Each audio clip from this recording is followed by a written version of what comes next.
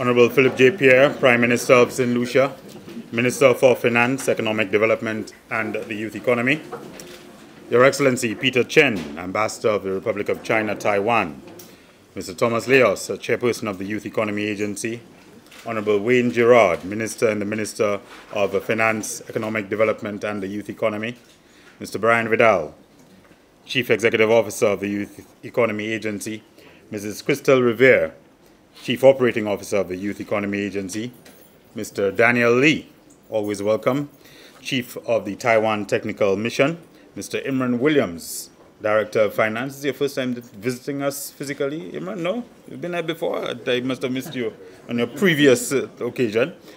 Ms. Pearl Alcindor, this is your first occasion visiting us. Uh, welcome, Deputy Chief Economist, Ms. Tara Regis Prince, Director of the Youth Economy Agency, Ms. Elsie Tsai, Third Secretary, Republic of China, Taiwan, Mr. Louis So, Project Manager, Community Business Revitalization Project, Taiwan Technical Mission, Mr. Yonglang Yang, Project Manager, Women Empowerment Project, Taiwan Technical Mission, Mr. Poi Lee, Project Assistant, Taiwan Technical Mission, Mr. Stanislaus Bishop, Communications Specialist, Taiwan Technical Mission, somewhere about the place. Members of staff of the Youth Economy Agency, Taiwan Technical Mission, and of course, uh, representatives of the government of St. Lucia, representatives of the media, ladies and gentlemen, good morning and welcome to the offices of the Youth Economy Agency and welcome to this auspicious occasion, the signing ceremony for what promises to be yet another important instrument demonstrating and exemplifying the partnership between the governments of St. Lucia and the Republic of, China, of China, Taiwan through the Youth Economy Agency. To officially welcome you to our premises this morning and to this occasion, it is my pleasure to introduce our Chief Executive Officer, Mr. Brian Vidal. Good morning, and thank you very much, Terry. So, good morning, ladies and gentlemen, distinguished guests and partners. It is my absolute pleasure to welcome you here today for the signing of this technical cooperation agreement between the government of the Republic of China, Taiwan, represented by the Taiwan Technical Mission in St. Lucia and the Youth Economy Agency. This collaboration marks a significant milestone in our ongoing efforts to empower our youth, foster entrepreneurship, and create a more inclusive economy. In our short existence of only one year, this is the second time we are receiving assistance from our friends from Taiwan. So we just wanted to say a special thank you. I would like to extend my gratitude to the representatives of the Taiwan Technical Mission and His Excellency Ambassador Peter Chen. Your commitment to supporting our young people is not only a testament to the enduring friendship between our nations, but also a powerful catalyst for growth and the opportunity here in St. Lucia. Thank you for your dedication and vision. Permit me also to recognize our Prime Minister, the Honorable Philip J. Minister of Finance, Economic Development and the Youth Economy, and Minister for Justice and National Security. And also the other cabinet ministers, I see Mr. Wayne, Honorable Wayne Girard. And I just want to mention, you know, that the youth economy really represents the vision of the Prime Minister of St. Lucia, the Honorable um, Philip J. Pierre. And you know, the very fact that, the, that he's here with us this morning, it's testament, you know, to his support, you know, for the youth of St. Lucia. So I just want to say a special thank you to the Prime Minister for that. I mean, we really appreciate your presence. I mean, know you had a conflicting schedule, but you made it your duty to come here. So thank you very much. Um, we were also expecting the Honorable Jeremiah Norbert, who is the, um, the Minister responsible for crime prevention and persons with disabilities. Um, in his absence, I know that he also had another um, engagement, but we just want to say, you know, that, um, you know, at the youth economy, we'll make a special you know, effort to reach out to persons who are specially, specially able, you know, to ensure that they are not left out in this wonderful opportunity. Today's agreement will lead to transformative outcomes.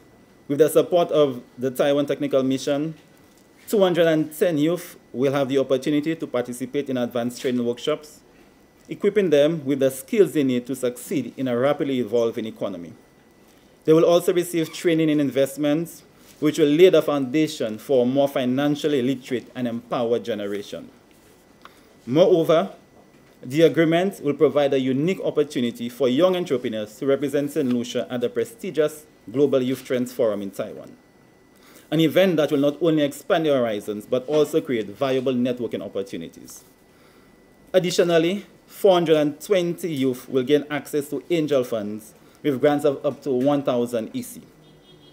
This financial support will empower them to launch or scale their businesses, driving innovation and creating jobs within the micro, small, and medium enterprise sector. These initiatives are not just about providing resources, they are also about building a bright future for our youth, fostering closer collaboration between agencies engaged in youth development and ultimately contributing to the economic growth of our nation. So essentially, with those funds we'll be receiving, we will engage our partners, those who are passionate about you know, youth development and passionate about the micro, small, and medium sector. As we sign this agreement today, let us remember that we are laying the groundwork for a better tomorrow. Our youth are our most precious resource, and by investing in them, we are investing in a more prosperous and inclusive St. Lucia. Thank you once again for our partners from Taiwan Technical Mission, to our Prime Minister and everyone involved in making this collaborative collaboration possible. Together, let us continue to work towards a brighter future for our youth and for our nation. Thank you, and let us proceed with our ceremony. Thank you again.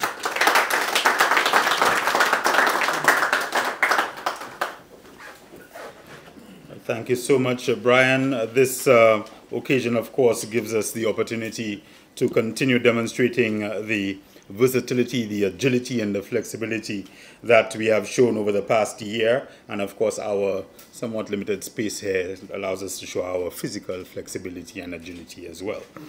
Um, it is my pleasure to introduce our chairperson uh, of the Youth Economy Agency, Mr. Thomas Leonce, to deliver some brief remarks.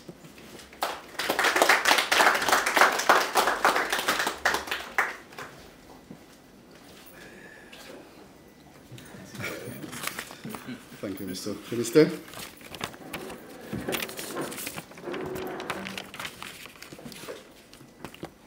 Honorable Philip J.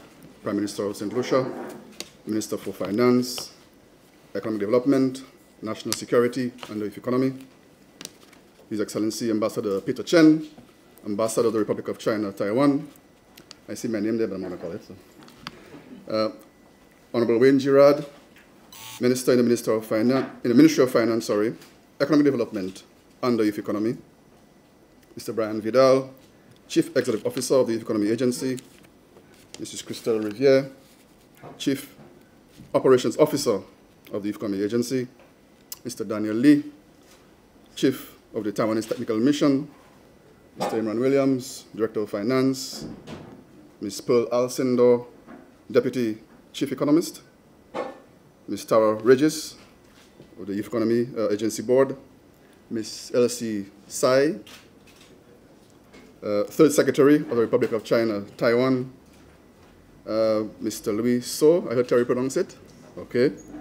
Project Manager, Community Development, Community Business Revitalization, sorry, Project Taiwanese Technical Mission, Mr. Yong Lang Yang, Project Manager, Women Empowerment Project, TTM, Mr. I think I had Po, Po, Po, Po project assistants of the TTM, Mr. Stan Bishop, commerce specialist with the TTM, members of staff of the Youth Economy Agency, um, members of staff of the TTM as well, uh, members of the media, ladies and gentlemen, welcome. The Republic of China, Taiwan has kept coming through for the Youth Economy Agency, and by extension, the Youth of St. Lucia, time and time again. I know CEO said twice, but it feels like more often than that, you know. The Republic of China, Taiwan has become more than a friendly contributor to YE, but have become more like family in a very short space of time. The initial show of confidence back in 2022 may very well have served as an impetus for other countries, agencies, and entities to get involved and to get behind the mission of the Youth Economy Agency. The initial contribution of the Republic of China, Taiwan, both in cash and kind, much of the furniture that you and equipment that you see around, including those you're sitting on, uh, was a contribution from the ROC. That played an important role in getting the operations of the Youth Economy Agency going. I think it's also fitting that I point out that it was not a case of look the money and turn their backs, but they made their presence felt and became very invested in the activities of YE. I can still visualize um, Sophia driving up alone to Castries from Laborie at close to 11 p.m. after having attended one of the business mixers down in the south, as well as um, His Excellency Ambassador Chen. I see him everywhere, which um, speaks volumes on how invested he is in the various undertakings that the Republic of China Taiwan supports, as well as other regular activities and events such as national football games. I'm certain that since the launch of the agency over a year ago, the Honorable Prime Minister has received many a call on several fronts on how they can play a role in YE in one form or another. Our CEO, board members, myself included, have also received calls and invitations to discuss how collaborations can be forged with the Youth Economy Agency. It's usually the case in St. Lucia that one has to beg for sponsorship of activities, which do present many opportunities to leverage and make a big splash, especially if it does not involve food, drink, and music. So I wish to express our gratitude for this additional support. It signals that, the, that Taiwan has really stayed the course with YE over the past several months and will continue to work side by side as we endeavor to assist the young people of St. Lucia to carve out an economic space for themselves, perhaps in St. Lucia first, the sub-region, and of course, globally. So keep your eyes on this space. We shall have an abundance of fruit soon coming from those seeds that were planted, coming from those seedlings that were watered, coming from the light that was shown upon the many, on, upon many of enterprises that the young people of St. Lucia are engaged in. I thank you.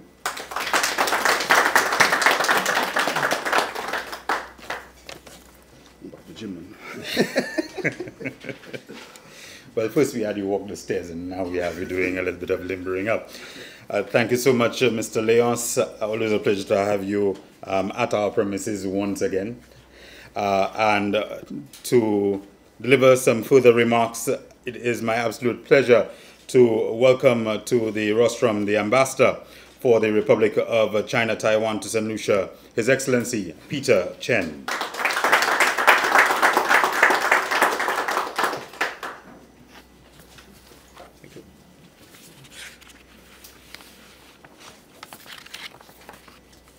Honorable Prime Minister Philippe Pierre, Honorable Minister Wayne Girard, Minister in the Ministry of Finance, Economic Development and Youth Economy, Mr. Thomas Leonce, Chairman of Youth Economy Agency, Mr. Brian Vidal, CEO of Youth Economy Agency, colleagues uh, from the YEA, officials from the ministry, and also my colleagues from Taiwan Technical Mission, and friends from media.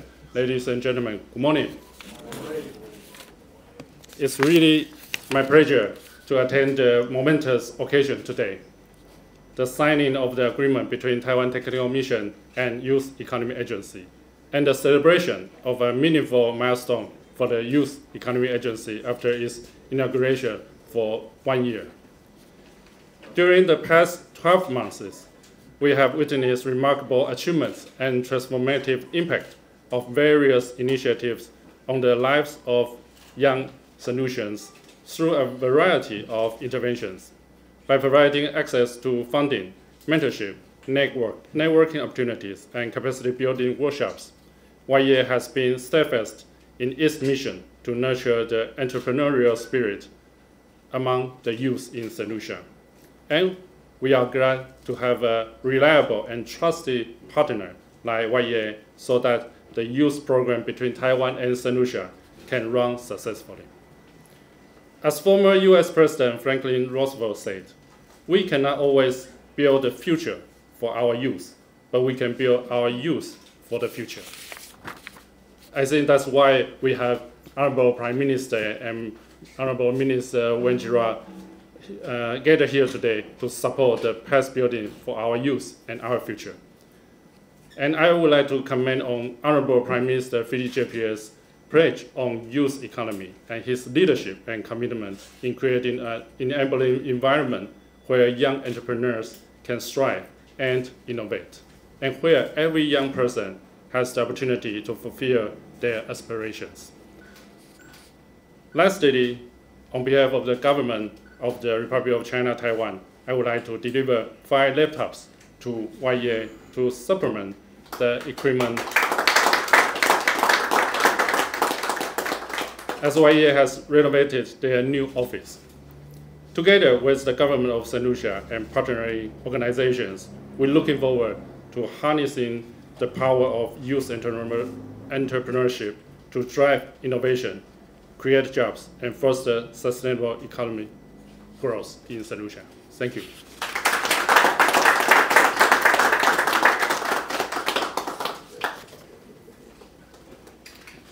Thank you so much, Your Excellency, for all that you have done for the Youth Economy Agency and certainly for the uh, youth of St. Lucia and for your continued partnership with the government and people of uh, St. Lucia.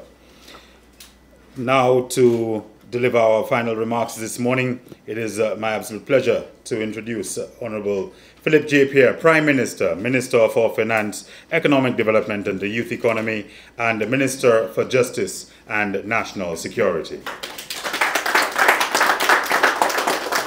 Let me recognize my colleague, Honorable Wayne Girard, Ambassador Cheng, Mr. Brian Vidal, CEO, Mr. Thomas Leonce, Chairperson, Director of Finance, Deputy Chief Economist, members of the Taiwan Technical Mission, members of the staff of the Ladies and gentlemen, good morning.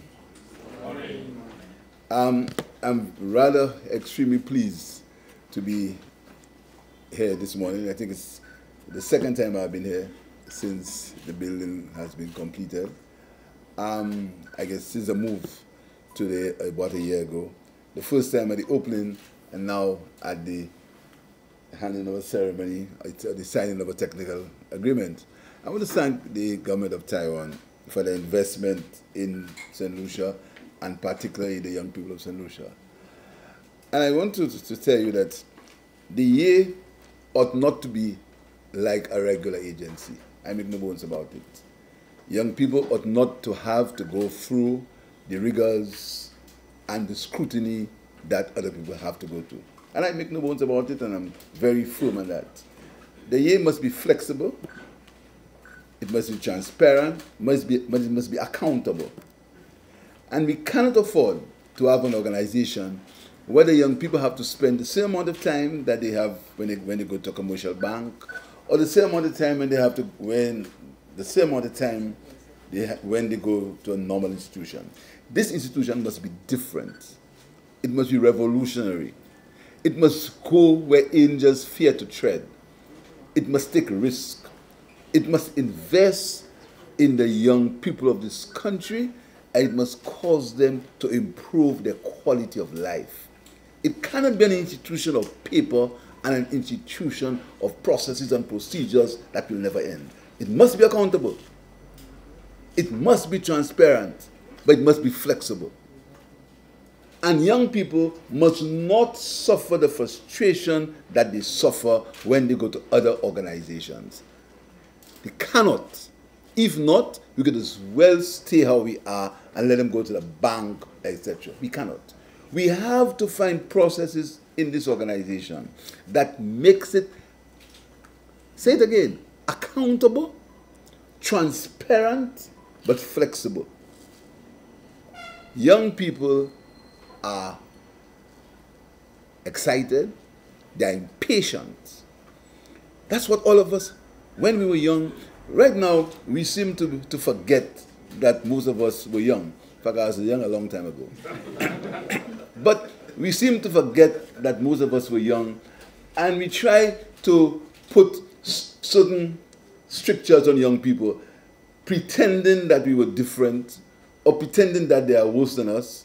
The difference between then and now is that the risk I could take, young people now cannot take it. But young people are basically the same. They're basically the same. Right now, there are things that we accuse young people of, not things that are, are nice, some of them are true, but fact is, these things always existed, albeit in a different way and a smaller scale.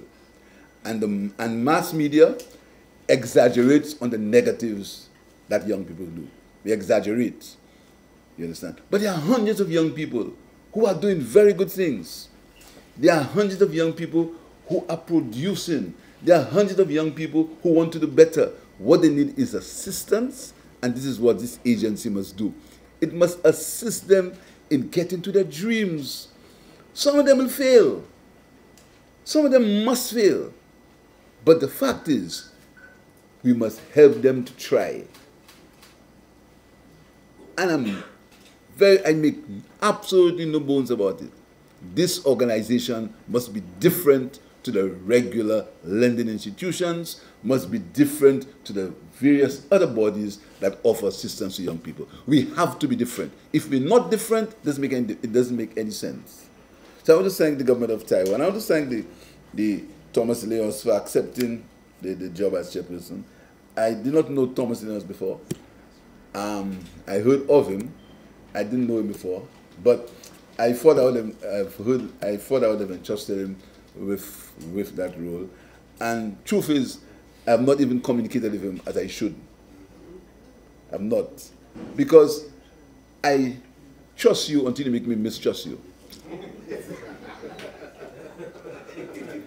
that is basically the way I lead my life.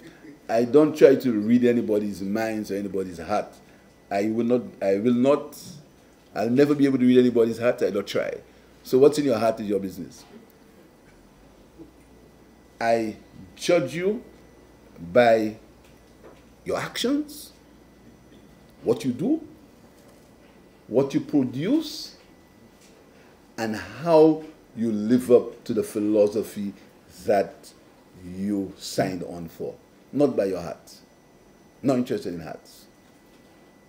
And this is how we have to deal with the young people of St. Lucia. Try not to read their hearts. Try not to read their locks or their short pants or, or, or, or their vests. Try not to read it. Deal with them as to what they want and how you can assist them. Always understand that you must be transparent and accountable. So I want to thank Thomas for taking on the, this, this challenge. It was a, many people thought that we could never create a youth economy agency. Some of them said you have a youth desk at the development bank, you have a youth desk at the Ministry of Thing, you have youth in agriculture. Have, why are you doing that? And it's Philip J. trying to build some things, trying to be a trying to do something, you know, because people, people always try to read other people's hearts. That's a, that's a problem. You try to read hearts.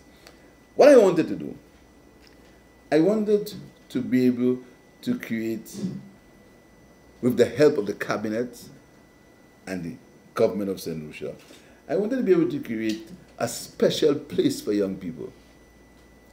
Not the same, and I make, I'm not, I'm not apologizing about it. The location is deliberate. I make no apologies about it, you know. The location is deliberate. We have to revive the cities of this country. We can't allow Castries to die and to say that them people living in, these spaces. We have to come to these people.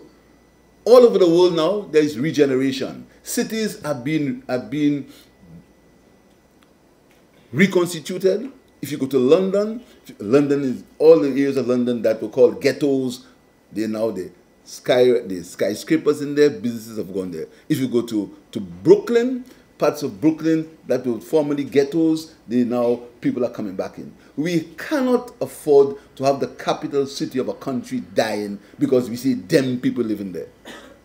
We can't. And once I have the opportunity, once the people of Castries East first and the people of. Lucia generally, once they give me that opportunity, I will try to see if I can revive the city of Castries. Castries cannot die all countries have a capital. The capital of England is London. The capital of Taiwan is Taipei, right? right. These are capital cities. There's a tendency to want Castries to die because we believe that the people who live in Castries are them people. No. You have to revive Castries. So this location is deliberate. I choose it and I choose it and I make no apologies for choosing it. We have to bring young people in a space. We have to be able to encourage the people who live in Black Mallet and in George Charles Boulevard and in the graveyard and in Morne Du Don. We have to be able to tell them that there's somewhere they can come, that they can get assistance for their dreams, because they have dreams too. We can't pretend only, only we have dreams. Everybody has dreams. Some of us are more fortunate. But you must give them, you must give them the opportunity and the opportunity you have to give them in the year is to give them the grant of $1,000, $2,000 to give them an opportunity so that they can improve the quality of their life, not judge them because of the way they look or the way they're born or, the way, or where they live.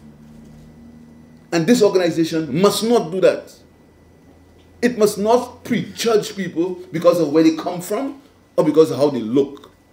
We cannot do that. We have to be different. And that is why we are in a, in a separate agency for young people only. So I want to thank you, Mr. Ambassador, for buying into the vision of making a difference to the young people of St. Lucia. The young people we want to cater for are all young people. But there are some young people who have more opportunity than others. That's a fact. And the people who have more opportunity than others may not come here. The parents will endorse a loan for them. They may join the, the, the, their father's business, which is good, very good. The parents will be able to go to bank and say, I'm going to sign for an overdraft for you to go into your business. They may be able to, but the people who will come here, the majority of them, they have no, they have no got any means of improving their lives unless they are assisted. They cannot improve their lives unless they are assisted. And that's what we are there for to assist them, to give them the start. So we cannot measure them with the same criteria that we measure people who have a start in their life. We cannot. And I want to tell the staff in this agency that you have to be different. You can't be a staff of procedures and strictures and structures and making life very difficult for the people you have to serve. You have to be flexible. We can't be a, a, a, an organization where you have to say, oh, you must meet Mr. X today, Mr. Y tomorrow, and come back next week at 8 o'clock to meet Mr. Z. We have to be flexible. We have to have discipline. We have to have discipline. We have to have organization. But we have to be flexible.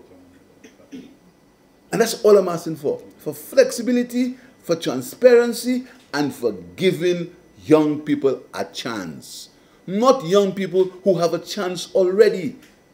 We must help create them. They have the same dreams, they have the same aspirations, they want the same for their children. But what they need is a little care, a little love. Not all of them will, not all of them will do well. Some of them will go by the, some of them will fail. But many men have failed. Many men have failed. So I want you to continue that vision, not for me, but for the young people of St. Lucia. And it's a long time we only feed young people with talk and talk and talk and talk and tell them things that they cannot, that they will not be able to, to achieve. Tell them dreams that are impossible. But they want little things. And the $2,000 you'll give them as a grant might cause them to change their whole outlook. Cause them to change their whole, they, they will feel some level of belonging. Somebody cares about them. They can go in some office and sit down and be treated like a like a, a, a regular person and not judged because of their, their natty. And not judged because of their vest. We have to do it. We have to be flexible.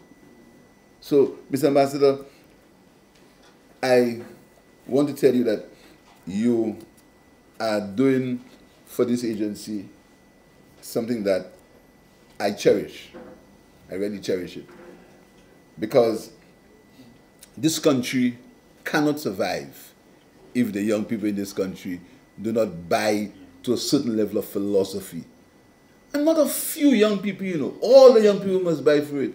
All of us must buy, all of us must create the opportunity for young people to buy into a philosophy of, this, of being better than the next, than their parents. They must be able to do better. This generation must do better than the last generation. And the generation coming must do better than this generation. This must be the philosophical underpinning in what, in, in what we run this country.